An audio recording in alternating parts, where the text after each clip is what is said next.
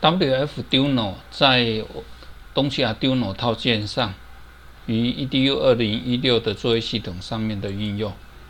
那 WFDuino 的使用方式有两种，一种是使用空浏览器开启它的 APP，好，这是一个扩充套件。那你要检查的部分是你有没有版本资讯，还有任体版本对不对？不对，请你下载它的原始码，好，原始码，然后复制起来，执行 Arduino ID，把韧体重新写入。好，把韧体重新写入，写入韧体。那你要写入韧体的时候，记得要检查什么？像这样出现红字的时候，就表示什么？你的 USB 或者是你的板子并没有选的很好，或者是你太心急了。好，那我们再写一次。你一定要看到当 upload 好，一直是没有问题的状态下，你才可以。去使用，那现在出问题的原因，是因为我们的 WFDuino 已经在使用，把 USB port 抓着了，已经被占用了，所以你不能，你先把它关掉，Ctrl A，Ctrl C，再执行一次，Arduino ID Ctrl V，这好，检查一下 b o 跟 p o 对不对？对了，写入。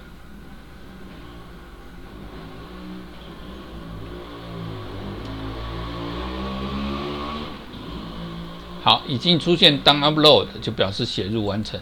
这个时候你就可以关掉，重新启动这个。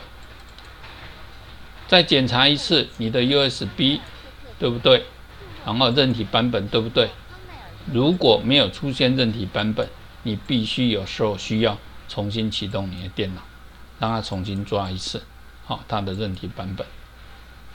那这个是因为现在看起来它刚才有抓到，重新写入以后又没有看到了，那我们就只好使用它的离线版本。它有离线版本，它离线版本的下载在它的官网下面有 Linux 的版本可以下载。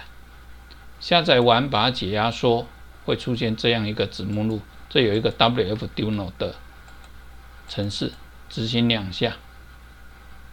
好，选择 USB port 连线，啊，一样有版本出来。这样子，它就已经连线成功了。连线成功之后呢，就请你去执行 Scratch 二。但是你没有特殊积木啊，所以你要去开启它的。范例档，你要去下载它的，好，在下载里面，我已经下载下来了，啊，WFDuino 的 Scratch 这一支 SB2，确定。